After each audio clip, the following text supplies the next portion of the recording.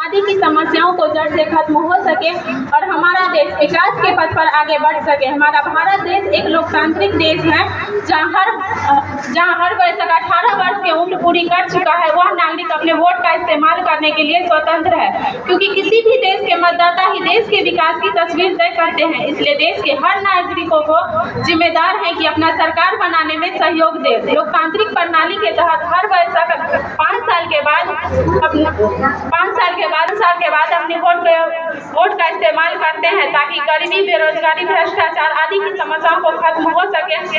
हमारे देश में कई तरह तरह के चुनाव आयोजित होते हैं, जैसे कि विधानसभा चुनाव, लोकसभा चुनाव, निकाय चुनाव, निगम चुनाव आदि। लेकिन इन सभी में से सब खास बात यह है कि सभी चुनाव जनता के भागीदारी से ही संपन्न होता है। अर्थात देश से लेकर राज्य, शहर, कस्बे एवं गाँव की किस्मत जनता ही तय करती है। मैं इतना कहकर अपनी वाणी को समाप्त करती हूँ। धन्यवाद।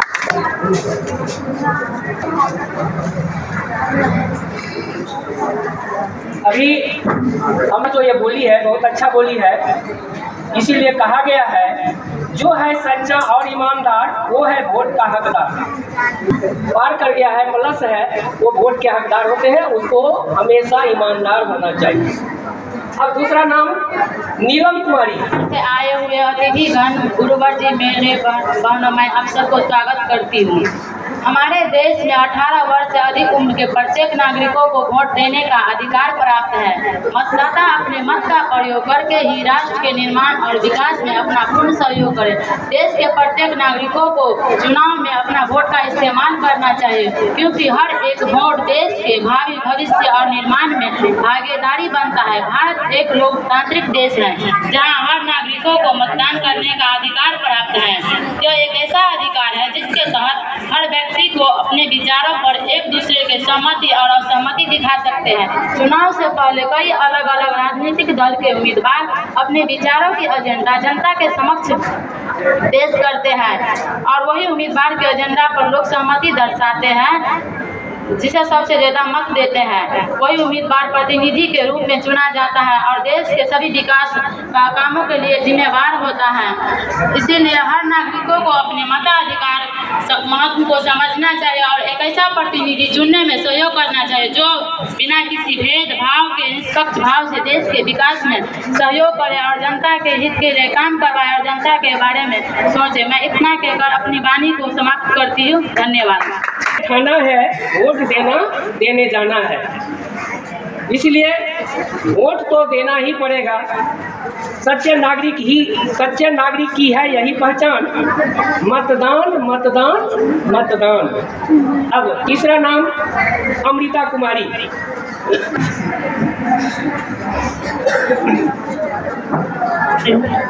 यहाँ पे उपस्थित सभी को मेरा सादर प्रणाम। मेरा नाम अमृता कुमारी। मैं B A second Hindi honours की छात्रा हूँ। मिथिला के बारे में आप लोगों के बीच कुछ कुछ वर्णन करने जा रही हूँ और इसमें कुछ त्रुटि हो क्षमा चाहिए। मिथिला प्राचीन भारत में एक राज्य था जो वर्तमान में एक सांस्कृतिक क्षेत्र है। मिथिला की लोक श्रुति कई सदी से चली आ रही है, जो अपनी बौद्धिक परंपरा के लिए भारत और भारत के बाहर जाना जा रहा है। मिथिला में, मिथिला मिथिला की पेंटिंग दुनिया में फ़ेमस है। मिथिला में माछ मछली दिलकुर पता के तरह का बड़ा महत्व है। धार्मिक ग्रंथों में इसका उल्लेख रामायण में गया है। बिहार, नेपाल की सीमा पर तिरहुत का प्रदेश है जो कोसी और गंडकी के बीच में स्थित है। मिथिला के अंतिम राजा कामेश्वर सिंह थे, जो उन्नीसवीं शताब्दी में इसके समर्थन से ही यूनियन ऑफ़ इंडिया राज्य में इनका विलय हो गया। इसके बाद मिथिला के क्षेत्र, बिहार, नेपाल 2000 ईस्वी में झारखंड में बट गया। मिथिला ऐतिहासिक काल से ही बहुत समृद्ध और संपन्न रहा। इसके बाद इसके बाद मिथिला में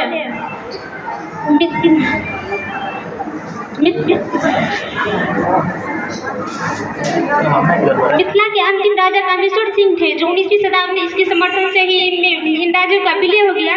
इसके इसके बाद मिथिला महोत्सव मनाया जाता है, जिसमें कई देशों के लोग शामिल होते हैं। यह एक महत्वपूर्ण तीर्थ स्थल है। यह, कितना खबर मैं अपनी वाणी को विराम देने जा रही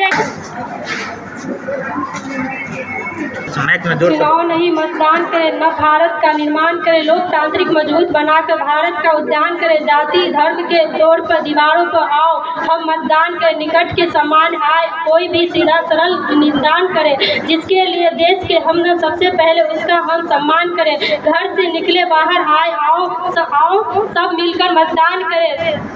देश में हर नागरिकों को मतदान करना आवश्यक और ज़रूरी है, क्योंकि हर किसी भी नागरिकों को अमूल्य वोट देना बहुत देश में हर एक नागरिकों को वोट देना में आवश्यक ज़रूरी है। 18 वर्ष के अधिक नागरिकों को वोट देना में आवश्यक है, क्योंकि नागरिक सामाजिक स्वतंत्रता और हर एक देश के नागरिकों को सम भावी समाज के हर एक देशों को नागरिक में ही देना आवश्यक है क्योंकि 18 वर्ष के अधिक उम्र 18 वर्ष के अधिक उम्र को लड़कियों को वोट देना और पाँच वर्ष से पाँच साल के उम्र में ही लड़कियों को वोट देना अति आवश्यक है।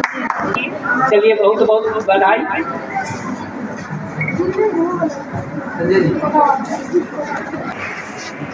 जो अपने वादे निभाएगा, वही सरकार बनाएगा।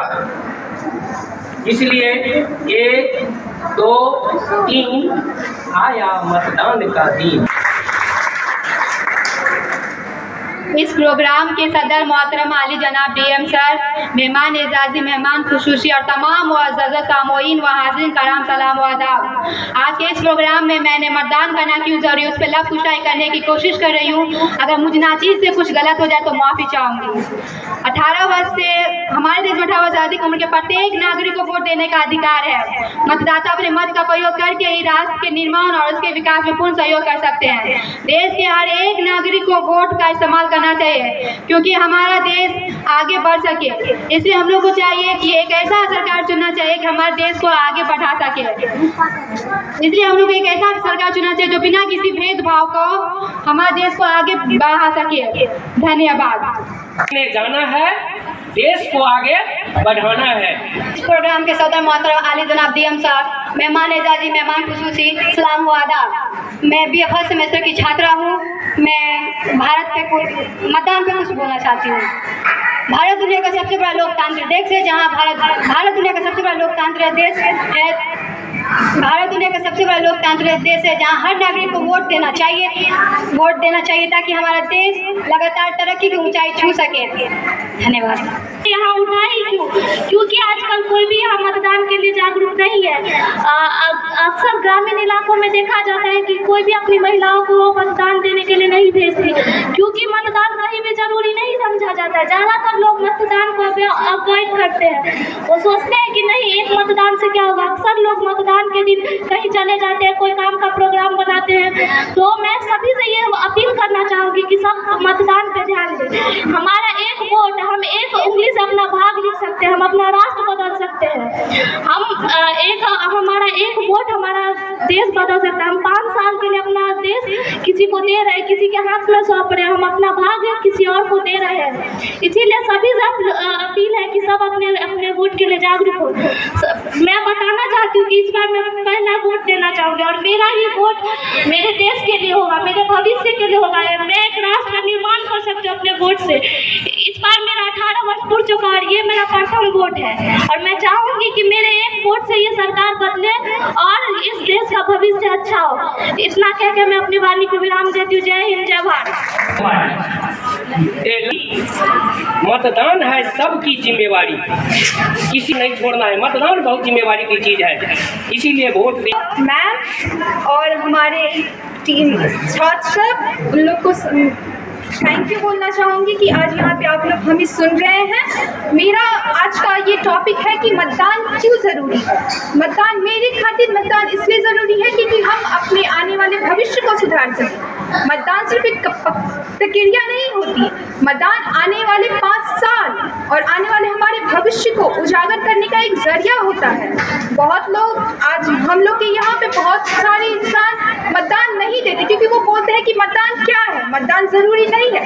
मगर मैं उन बताना चाहती हूँ कि मतदान बहुत ज़रूरी है। एक एक मतदान से ही हमारे पूरे देश हमारी पूरी जनता का भविष्य उजागर होता है। तो मैं ये बोलना चाहूँगी और यहाँ पे जितने भी छात्र हैं अठारह प्लस है प्लीज़ वो मतदान दें। और अपना वोट देखिए एक अच्छे नेता को। एक अच्छे शासक को चुने। ये आप लोगों से अपील है प्लीज़ आप लोग सही शासक सही नेता और सही राजनेता को Thank you.